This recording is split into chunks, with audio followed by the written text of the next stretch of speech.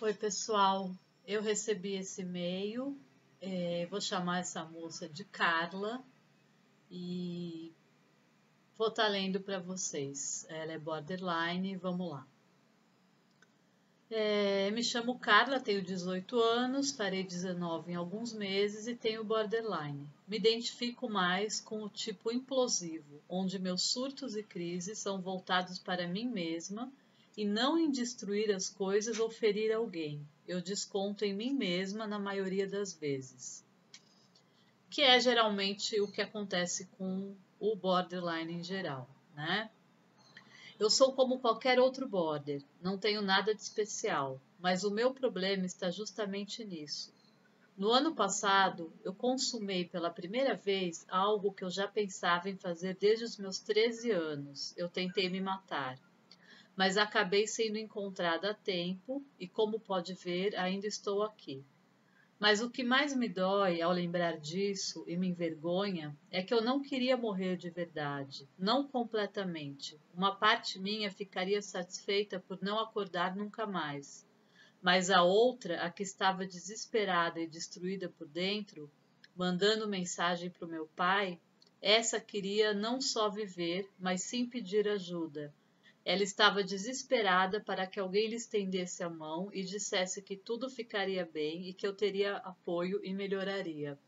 Aqui, Carla, o que você fala é muito comum, né? Para o borderline, muitas vezes esses pensamentos suicidas, num sentido de esgotar, acabar com a dor que se está sentindo. E por outro lado, uma pulsão de vida, uma um desejo de pedir ajuda, né?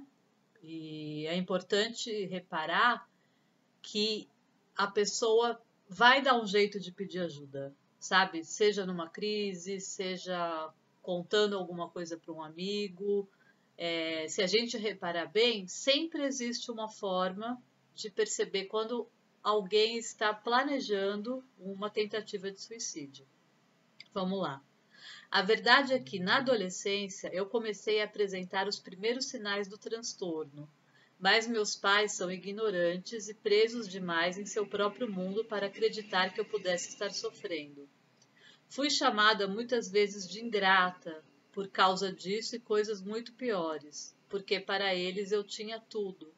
Não me faltava nada em casa e por isso eu não deveria reclamar, que estava inventando problema onde não tinha colocando coisas na minha cabeça, afinal eles tinham passado fome, eles passaram por dificuldades de verdade na vida e isso só os fez mais forte.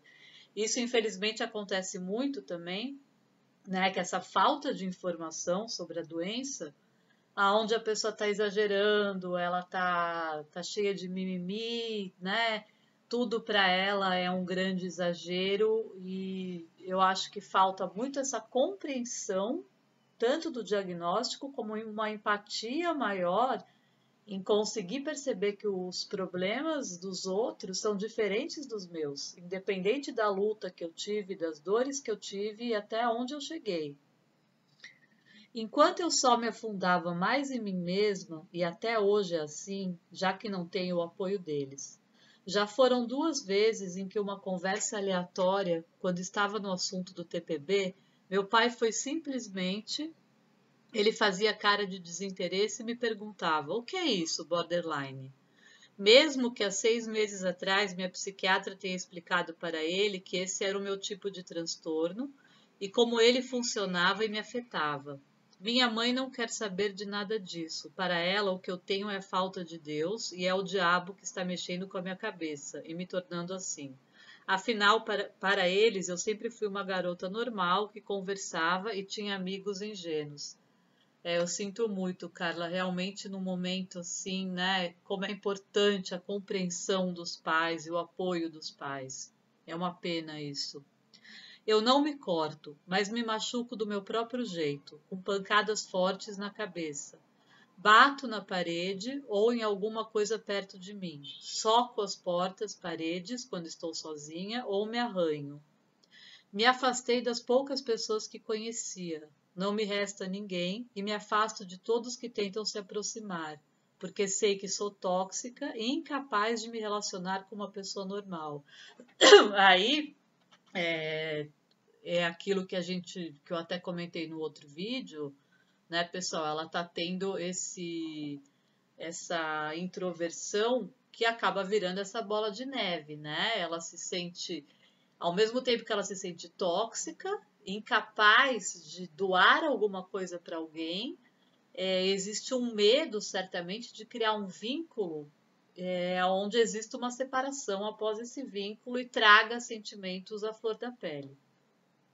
Minha relação com os meus pais se tornou inexistente. As poucas migalhas de atenção que recebia deles deixou de existir por conta dos meus irmãos, que só têm três anos. E minha vida só foi por ladeira abaixo os últimos dois anos, pois concluí o ensino médio e não cheguei a lugar nenhum. Meu pai coloca expectativas em cima de mim que nunca vou alcançar, e isso me tortura. Quer que eu seja que eu siga uma profissão que me dê dinheiro e garanta a minha vida. Saia logo dessa casa. Mas isso só reforça todas as vezes que ele joga na minha cara que quem me sustenta é ele e que ele tem outros problemas e não deveria estar gastando dinheiro comigo, que já tenho 18 anos nas costas. Minha mãe Minha mãe nunca me apoiou literalmente em nada na vida. Me fez até desistir de escrever meu livro. Que pena, que eu tanto me dediquei e que queria um dia publicar. E sempre que tem a chance, me compara às minhas antigas amigas, as mesmas que ela dizia que não iam chegar, chegar a lugar nenhum, ou que sofreriam nas mãos do marido vagabundo, ela joga na minha cara que até elas deram jeito na vida, que eles estão trabalhando e o namorado sério, namorando sério. Enquanto eu não fui para lugar nenhum, não tenho coragem nem capacidade de fazer nada na vida. Imagine, né, para você que já já se sente tão incapaz, que reforços negativos, né, de cobranças e de humilhação. Eu odiava minha psicóloga, tanto que pedi para trocar. Mas sistema público é uma lesma quando se trata de saúde mental. Como se só se você está com algo físico importasse, o resto é frescura.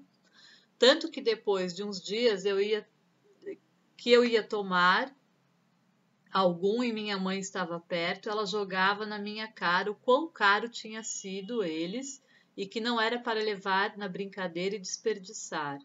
Aqui ela falando, desculpa, eu pulei dos remédios, tá?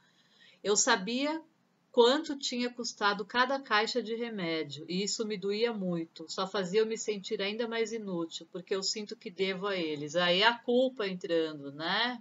É, de tudo que ela tá ouvindo e, e essa culpa realmente enorme que o borderline sente. Sou um desperdício de dinheiro, já que quando se trata de mim só falam disso, dinheiro, de quanto foi gasto. Por isso, quando terminou o mês, eu parei de tomar os remédios e não fui mais para a psiquiatra. Assim, eu nunca mais ouvi eles reclamarem, pelo menos disso. Faz quase um mês que não vou na psicóloga, enquanto espero que eles achem uma vaga para, para me encaixar e eu poder me consultar. Eu explodi não faz muito tempo, me senti sufocada e no limite por não poder abrir, me abrir com alguém, não ter alguém para conversar, mesmo essa pessoa sendo só alguém que o governo paga para isso. Então, eu notei todos os sinais que antecedem o desastre. Fiquei deprimida, depois com cada vez menos paciência, até que, até que mágoa e melancolia profunda me tomaram junto a surtos de raiva, e depois de me ofender e, ama e amaldiçoar minha existência e dizer para mim mesma que não merecia estar viva, eu chorei. Chorei muito meu sofrimento, nenhuma empatia para com os meus dramas, minhas frescuras e invenções. E ainda disse que estou assim porque quero, e isso me quebrou mais ainda, porque eu sei que em parte é minha culpa, minha felicidade é minha responsabilidade, mas eu não sei como fazer isso.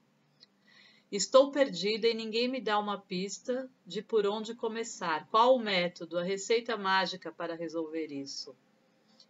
Não existe receita mágica, né, Carla? Mas existe sim, é, e é importante que você persiga com esse tratamento, é, talvez busque outras pessoas, é, às vezes de uma primeira não surge realmente esse link, essa empatia, mas é importante você perseguir isso para trabalhar todas essas questões que estão presas em você há tanto tempo, né? Toda essa culpa, toda essa raiva, é, toda essa sensação de humilhação, tá? Eu ando pesquisando sobre border na internet, lendo blogs, assistindo vídeos de profissionais e de pessoas que também possuem o transtorno. Mas sempre que vejo um relato, a pessoa sempre fala de como o apoio da família, dos amigos ou namorado foi importante, de como eles são compreensivos e ajudaram ela a passar por isso. Eu fico pensando, e eu? Será que eu perco as esperanças de vez porque eu não tenho apoio de ninguém, muito menos a quem pedir ajuda? A quem me apoiar para eu aprender que não preciso de apoio nenhum? Eu me odeio, principalmente por dentro, me acho o pior ser humano da face da terra, podre. Não tenho amor próprio ou autoestima, por isso não me importo com a minha aparência ou como me veem. Sou antissocial e tenho medo de me relacionar. Não acredito que alguém seja capaz de me amar sendo quem eu sou. Muito menos que mereço ser amada, porque sei que vou fazer essa pessoa sofrer e ninguém merece isso. Ninguém me merece. Minha máscara de raiva só esconde a mágoa e tristeza profunda que sinto, junto com um vazio dentro de mim. E eu te pergunto: alguém como eu tem solução? Porque cada dia mais eu não vejo a morte como forma de chamar atenção ou de me punir, mas sim de dar um fim nisso tudo. Como um grande, eu não mereço passar por tudo isso, só quero uma forma de fugir. Se você realmente leu isso, me desculpe por desperdiçar o seu tempo, não peça desculpas. É, eu agradeço a sua carta e eu te respondo: você tem sim solução, com certeza você tem sim. Você é uma moça jovem, você tem 18 anos.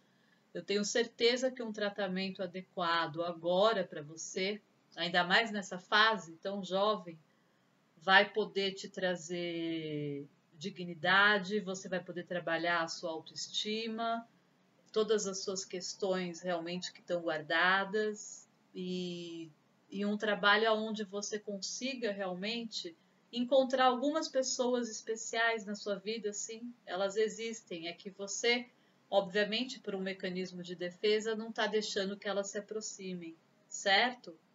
Então, é isso aí, não desista. Um beijo para você e obrigada.